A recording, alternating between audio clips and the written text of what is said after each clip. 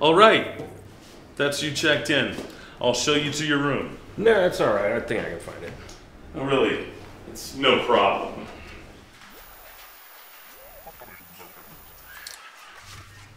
You gonna grab your bags?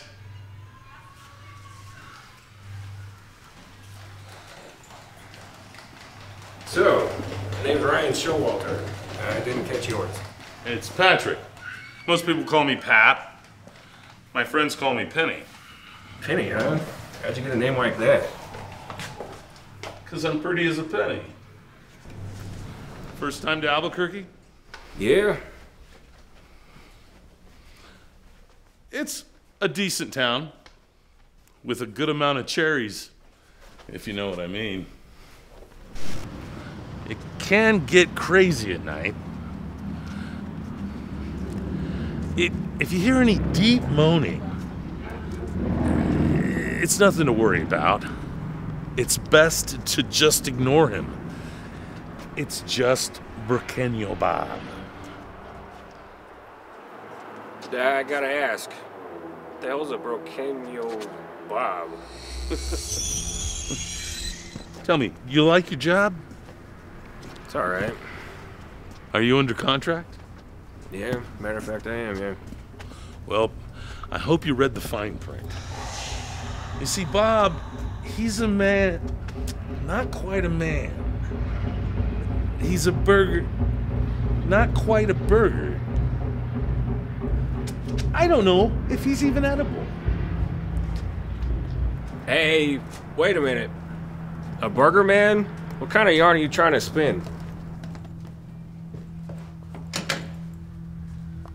I am getting ahead of myself.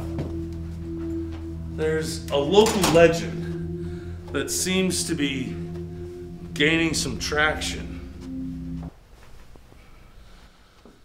Some say he was a short order cook who was scorned by his uppity boss. I've heard some punk ass kids say he was a world renowned chef whose specialty was gourmet patties. And while being overpaid and overpraised, one day he made the wrong person a critic, a rare instead of a medium. And he's forever to pay the price.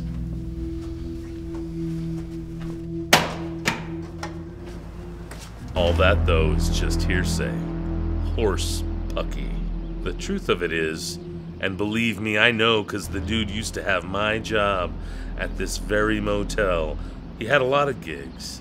He could never find one that gelled with him. You know the feeling. He was sick of the whole 9 to 5, so he thought he could be his own boss. He got a job working for one of those phone apps. Yeah.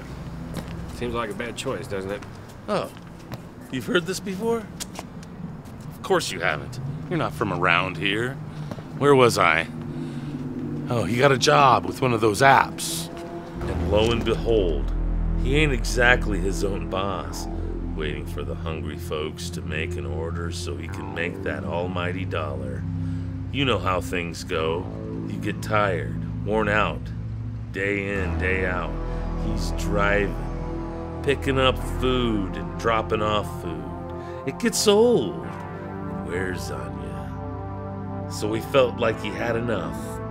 He wanted to be done with it. Maybe come back to this motel gig. Believe me, it's not that bad. Well, so what happened? Did he quit the job? Or was he late on a delivery and he got murdered by some crazy hungry person? Jeez, man. I'm about there. Ah, he quit. Or at least he tried to. But it wasn't that easy. He was cursed to forever walk the streets of Albuquerque, feeling the pain of every order.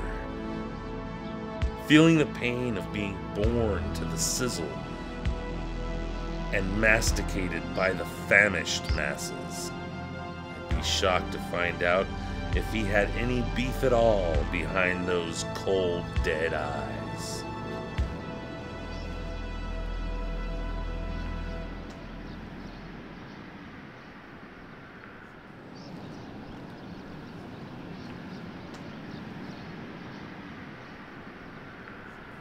And that's the sound you'll hear. Is poor Bob feeling every sizzle. Laugh all you want. That app took his humanity and replaced it with two Chuck Patties. Smashed between wilted lettuce and two stale buns. Uh, That has got to be the craziest goddamn thing I've ever heard. Isn't it? He should have read the fine print. So wait a minute, Penny. You mean to tell me that an app cursed this guy, doomed his soul, and reduced him to a burger? First of all, my friends call me Penny.